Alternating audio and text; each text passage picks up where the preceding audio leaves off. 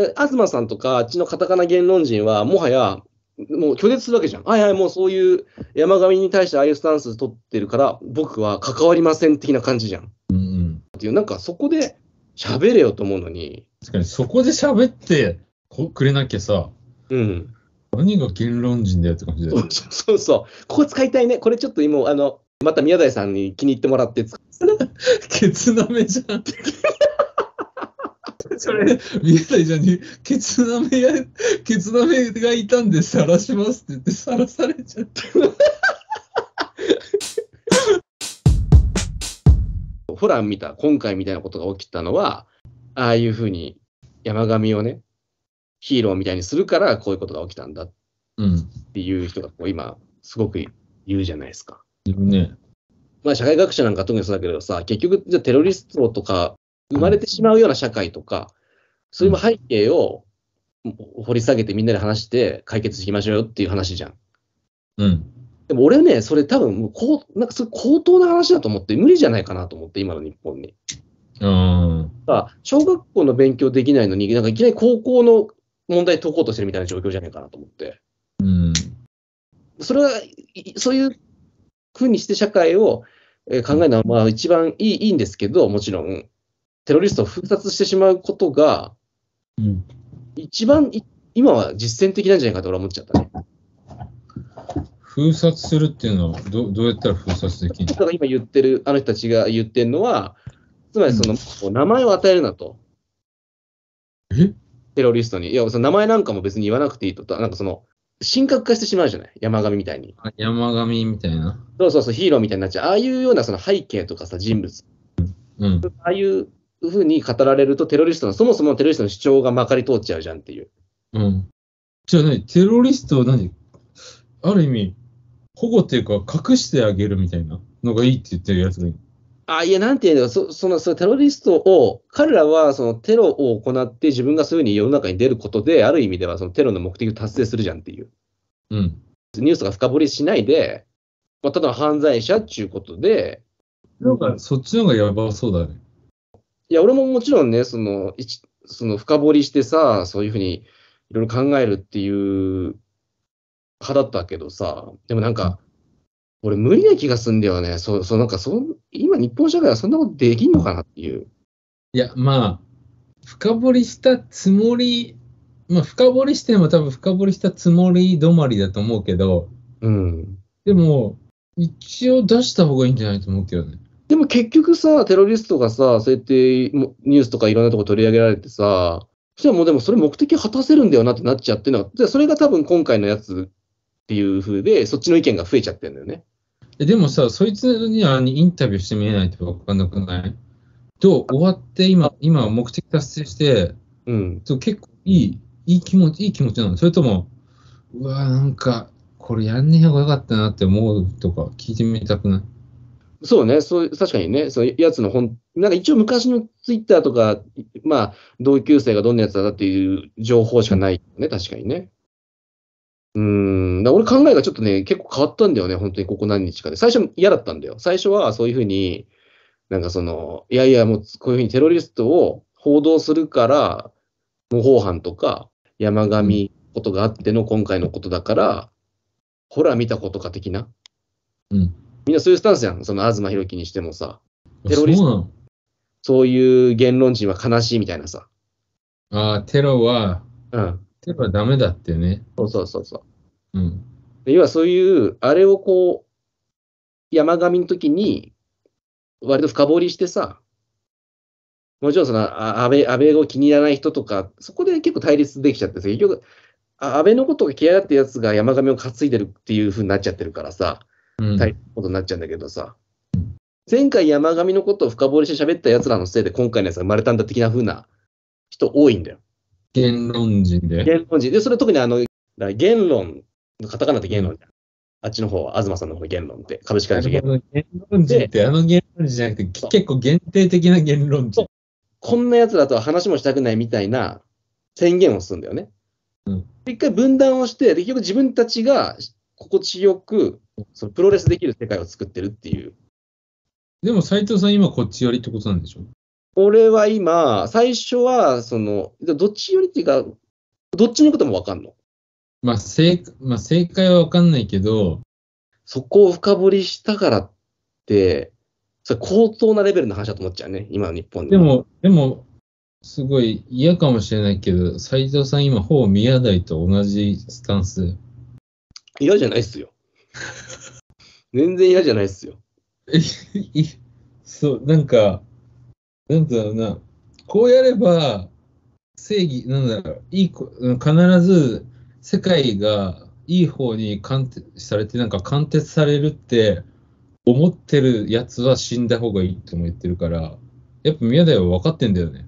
うーん。あの、要するに、封殺した方が社会が良くなるって思ったやつもバカだし、うん、じゃあ、メディアでつる、あの、担ぎ上げれば、まあ、世界、あの、ちゃんとね、白日のもとにというか、そういう奴らの生きてきた経歴をね、こう、つまびらかにして、世にさらせば、世界が良くなるって思ってるやつもどっちもバカでっていうのが分かってて、うーん。で、結局、クソなの。あの、うん。どっちにしろクソになるっていうのは、いつも言ってて、このテロの話に関わらず、一貫してずっと言ってて、うん。うん。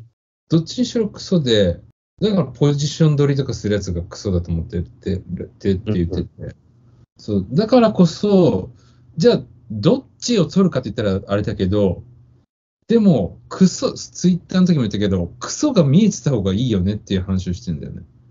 その、うんはいはい。するよりは、隠蔽して、そのさっき斉藤さんが言ってた限定的な自分の心地いい世界だけで、プロレスじゃなくて、もうクソも何も全部ある中で、うん。俺はどうすれば、どこを取捨選択して、どうやって生きていこうかって自分で選べた方が、いい世界に、のに、いい世界はないけど、そっちの方がいいよねっていうスタンスなんだよね、きっと。いや、最近ほんとさ、東さんの作った言論界隈の気持ち悪さがすごいんだよ。なんかあの、うんあの、辻田とかいいんじゃん。辻田のツイッターとかやばいぞ、あいつとかも。あー、池、い石戸？石戸、石戸は俺、石戸最初からもうやばい。東さん、よいしょ組はもうさ、受け付けなさすごいなと。で、こういうふうに、はいはい、第二のテロ来たから、ちょっと出てきてんだよ、最近ね。ほらほらほら、みたいな。言ったでしょみたいな。言ったでしょって、でだからそういうに山上とか、ああいうテロとかを許しちゃダメなんですよっていうさ、なんか。で、僕は一貫してあの時は言ってますよとか多分言うんだろうけどさ。有料のとこで言われてもね。でも、だからって、またどうってことはねえんだろう。てめえの会はないんだろう、多分。そうだね。だからあの人たち、あの人たちの中でワーワーキャーワーキャー言ってんだよね。狭いんだよな、なんか。最近また狭くしたじゃん。ひろほら、前も言ったけど、ほら、ひろゆきとか、あああいうガーシーとかを、およびそういうマジョリティをい、もう、なんつうの？もう僕の声なんか届かないけど、みたいな感じで、ま、こう、はい、また閉じこもったじゃん。うん。閉じ込め方すごいんだよね、最近ね。そこからも閉じこもって、さらには、えー宮台しかり、まあ、その、ああいう山上に、を深く考察する奴らからも距離を置きっていう。東くん大丈夫だよっていう友達が欲しいんじゃない？そう、今そうだね。今お友達の、友の、本当に友の会やってんだよね、あれ。あ、じゃあ友は、じゃあいい、じゃあある意味貫徹してんじゃん。いいのか、友の会か、あれは。うん。あの、マイノリティな愛好会のことを話題にしちゃってたんだな、俺らはな。そうそう。ただ友達が遊んでるのにあいつら慣れ合ってぞって言ってるような。悪いことしてる野鳥の会が鳥見てるのをなんか、変わったことしてるとか言っちゃってるだけなんだね。かもしれない。なんか悪いことしたな。そっか。岡と違いだったな。でもそのために会社設立するっておもろいやん。いや、なんか何が気に入ってさ、なんかさ、その自分たちこそが正義だっていうかさ、うん。最近な、全くフォローできてないからさ。いやー、なんか取り巻きがひでえんだよな。で、そことなんか喧嘩とかしてくれりゃいいんだけどさ。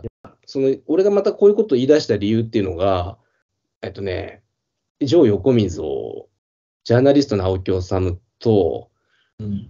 あの、そのもう一人の人が問題発言して、その人の問題発言を多分東博樹がなんか言ってて、うん。えっとね、安倍、安倍のね、まあ確かに俺もその発言が別にいいとは思わないよ。いいいと思わないけど、島田なんとか。そう、えっと、え、でもあの人言論出てなかった？あ、そうなんだ。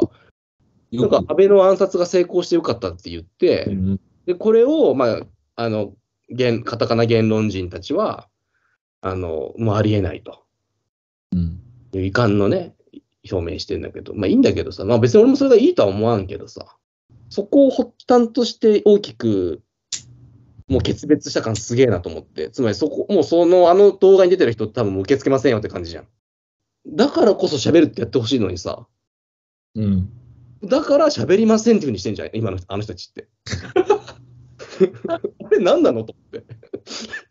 ある意味、だから自己、自己否定だよね。言論っていう、その、そうそうそうそう。言論という自分を、そういや、だからそういう意味で俺ね、あ淳の配信って偉いのが、淳ってけ徹底的にアンチに対して、来てくださいよ、喋りましょうってすげえ言うのよ。あ確かに。あれ偉いなと思うの。そういう意味では。まあ、偉いけど、あれ、勝てるやつだけピックアップしてるからね。ま あ単純に淳はその書き込みでアンチ言ったやつを片っ端に見つけて、えなんとかさん今入ってきてくださいって言うから、負けるかもしれないんだよ、それって。あ、そっか。でそこはね、偉いんだよ。この前あったじゃん。この前さ、完全に負けてんのになんか押し切ろうとしてるやつなかった、一回。でもあれはさ、俺可視化されたじゃん。俺らの中では負けてたよねって思えるじゃん。あ、そっか。確かに。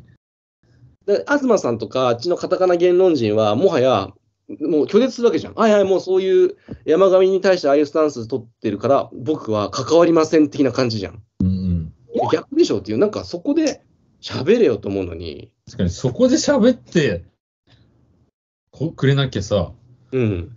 何が言論人だよって感じだよそう。そうそう。呼べよな。絶対、さあ、東さんが呼んだら、絶対宮台さん出てくれるよな。自分で呼んでないだけだよ。そうだね。